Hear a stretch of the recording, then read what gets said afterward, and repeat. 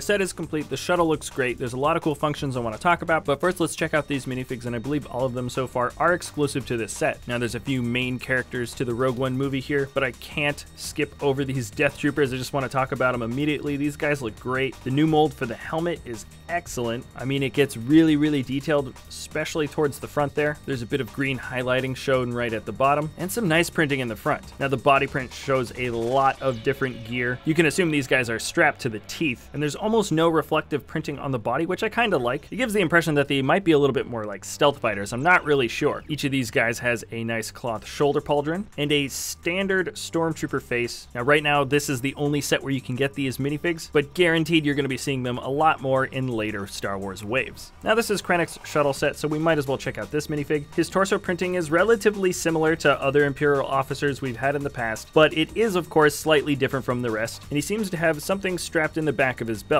Not really sure what that is. He comes with one singular expression, a very sort of nonplussed face for sure. And in the movie, he has this sort of longer blaster pistol, and so LEGO decided to give him this silver blaster rifle, which I think looks a little bit more accurate than if they'd given him one of the shorter ones. That is a soft cloth cape he is wearing, which is nice. And let's check out Bodhi Rook now. Here he is without his backpack on first, so you can just kind of see what his detailing looks like. He's got a vest with what looks like a lot of equipment strapped all around, and he comes with two really nice expressions. One is a smile, and he's got really nice printing to show that sort of scruffy beard, and the other one shows him with some goggles on. The flesh tone is also slightly darker than what you would get on an average minifig, and here he is with his backpack. I like the LEGO built backpacks, something I always just sort of appreciate on a minifigure, and there's some nice detail here. That pistol piece could be an extra weapon, I'm not really sure, or heck, you could flip it the other way and it would be an antenna facing upwards. Anyways, he's an excellent fig, and let's check out K2 So. I hope I'm saying that right. The movie is not out at this exact moment. I don't know how you say his name, but the main thing to take note of for this minifigure is, of course, the mold for the body. In fact, I think that is the only exclusive piece for him, but it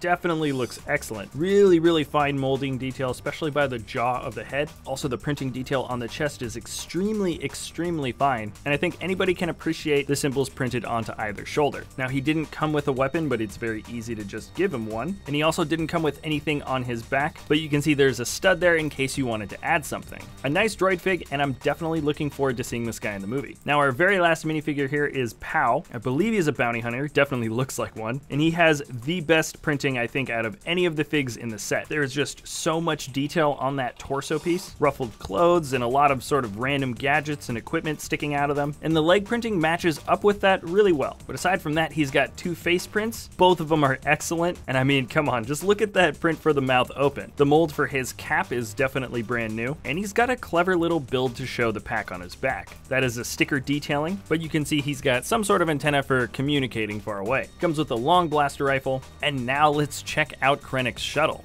Right now it's in its flying position, so the wings are folded all the way down. I like that the angle of the wings match up perfectly with the angle of the head of the ship, and it certainly is one intimidating looking machine. The top fin has been abridged quite a bit compared to other previous Imperial shuttles, but the wings are very long and slender, kind of similar to Kylo Ren's shuttle. I think the nicest and coolest looking part of the build is definitely that front. There's kind of an archway in the front triangular bit, which kind of looks like an A, and underneath we've got a build for a couple of blasters there, but there really was just a lot of clever building to make that shape there, and we've got a brand new mold that shows the cockpit. The combination of little bits of gray and also tile pieces used on the side makes for a varied look that really gives a bit more depth to the side paneling. This would be a boring build if it was just all studs, or if it was all smooth. The bits of gray also move up towards the fin, and interestingly enough, the wings themselves remain mostly black. Now, when this thing's folded up in landing position, you can see the undersides of the studs on the wings, which of course I'm not a huge fan of, but there really wasn't any getting around it, especially at this scale. But now that the wings are folded up, you can see the hidden spring-loaded shooters, and you also have a better look at how the wings are even attached. We've got a couple of very big ball joints, and that's pretty much it. There is enough friction to kind of keep the wings sort of half folded out, but if you were to bounce this ship up and down when you're kind of holding it in the air, then they're gonna naturally fall down into flight position.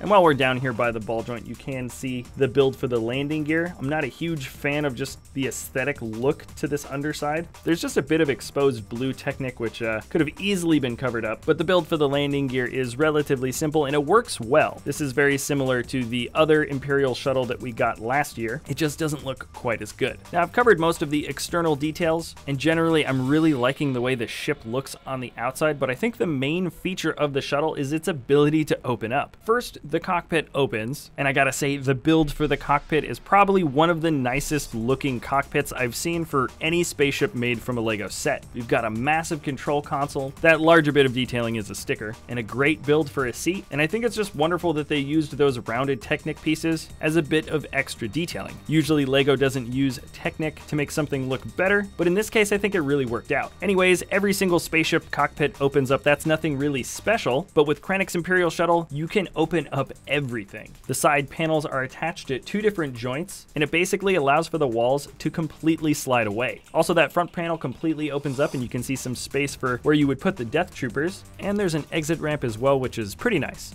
But when you look back into the shuttle, there are some details that you can notice, like maybe those stairs that lead up towards the main cockpit. And there's also a couple of internal sticker details kind of thrown in there. But the one thing I don't really like is that the interior itself doesn't really look like it's supposed to be presented, really. There's a lot of different varied colors kind of thrown around everywhere. At times, I think they're trying to build up some detail, and at other times, we just have completely exposed internals. I do appreciate that you can open everything up and get minifigs easily in and out and kind of all around the shuttle, but for the most part it looks like the interior is just kind of strewn about. For what it's worth, you can fold down the back as well and really open this thing up. There are some red clips where I suppose you could put some extra weapons if you had them, but I don't really know if this is supposed to be a play feature. Folding it all back up and just kind of taking a look at the set one more time, I'd say that the shuttle itself looks excellent, it's a solid build, and that makes it relatively swooshable. Let's see, some of the highlights for me are, of course, the minifigs here are all great. I don't feel like there was any lack of detailing in any sense there. And right now, this shuttle for me has one of the best cockpits that I've seen in a LEGO set. It's got a good part for price ratio, and ultimately, I'm really happy with the way Krennic's Imperial Shuttle turned out. All right, that is it for this episode, everybody. Thanks a lot for watching. If you enjoy our content, you can always like or subscribe, and I have left a link in the video description below if you want to buy this set. Anyways, thanks again for watching. I really do like making these episodes for you guys, and we'll see you next time at Brick Vault.